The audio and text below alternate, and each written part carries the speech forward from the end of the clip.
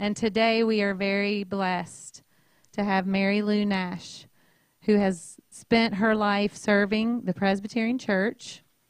And we have been very blessed by her expertise, her intelligence, her faithfulness, her love for, for a long time here at Grace Covenant in many different ways, including clerk of session when I first got here. Thank you. I guess I'm what you would call a cradle Presbyterian. My grandfather was a Presbyterian minister, and not too long ago, again, I came across his Bible. And it's a very, very thick Bible. It's a loose leaf Bible. And I found uh, notes of his in there, parts of sermons and prayers. So I guess my connection with my faith started way, way long ago. Never met my grandfather. He was gone before I was born. But I have always been very, very close to the scriptures. And this because when you work in ministry over the years, the scriptures are the things that guide you. I remember Harry Fisher in the presbytery where I worked said, Don't forget the Old Testament. It's the foundation for our faith.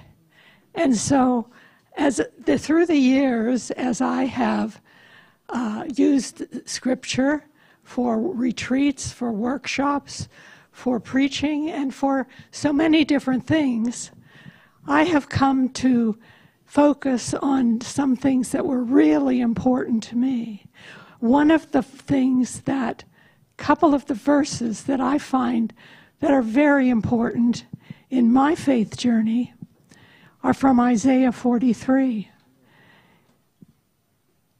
This is what Isaiah has to say to us. But now, thus says the Lord, He who created you, O Jacob, He who formed you, O Israel, do not fear, for I have redeemed you. I have called you by name. You are mine. You are mine. When you pass through the waters, I will be with you.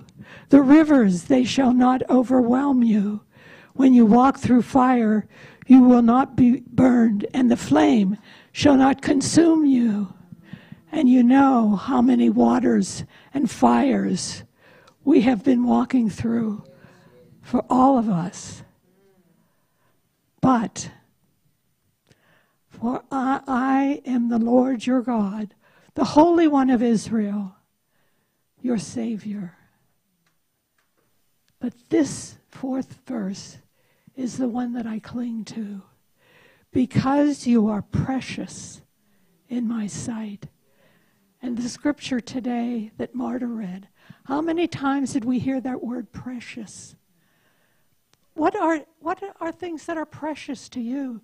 Not just things that are expensive.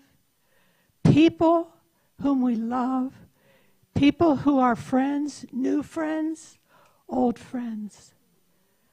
Things that mean a great deal to us. People that have mentored us in our faith journeys. Precious things in our lives. And God says, You are precious. You are precious and you are honored.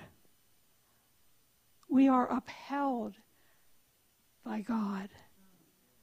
And the end of this verse says, And I love you. I love you.